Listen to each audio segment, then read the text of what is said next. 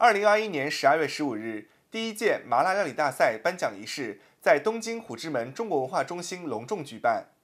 麻辣大奖赛经过激烈的初评和复评，前后历时一个月，最终在一百二十个食品中决出了面类、酱类、火锅类、麻婆豆腐类、零食类等五个部门大奖。五粮液奖和审查员特别奖共七大奖项。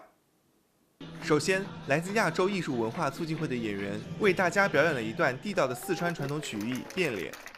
中国驻东京观光代表处首席代表王伟先生致开幕词，麻辣联盟代表中川正道先生详细介绍了各个奖项的评价标准。进入颁奖环节之后，首先颁出的是五粮液奖。本次活动的赞助商五粮液的代表郭斌先生致辞，并向获奖者颁奖。随后，审查员特别奖。